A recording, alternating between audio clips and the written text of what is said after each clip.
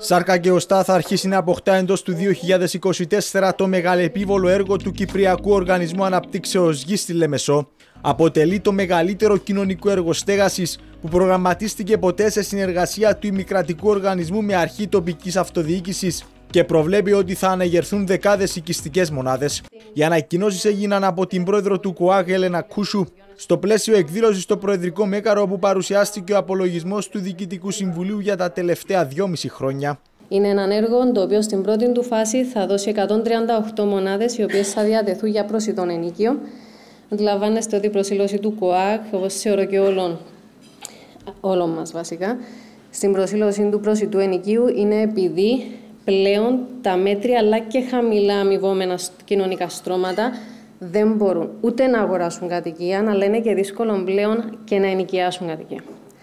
Απλά το, το νυν συμβούλιο το τι έκαμε ήταν να ολοκληρώσει τις διαπραγματεύσεις και να προχωρήσει στην υπογραφή αυτής της συμφωνίας με το Δήμο Λεμεσού. Με βάση τις εξαγγελίες του Διοικητικού Συμβουλίου του Κυπριακού Οργανισμού Αναπτύξεως Γης, σύντομα αναμένονται και ανακοινώσεις για οικονομικές ανάσταση σε δικαιούχους μέσα από ολοκληρωμένο σχέδιο διαχείρισης οφειλών. Αυτή τη στιγμή έχουμε ένα σχεδόν ολοκληρωμένο σχέδιο στα πρότυπα του IKEA που θεωρούμε ότι να δώσει, να μου επιτρέψετε την έκφραση, μια ανάσα στους δικαιούχους μας για να μπορούν να αντεπεξέλθουν στις υποχρεώσεις τους.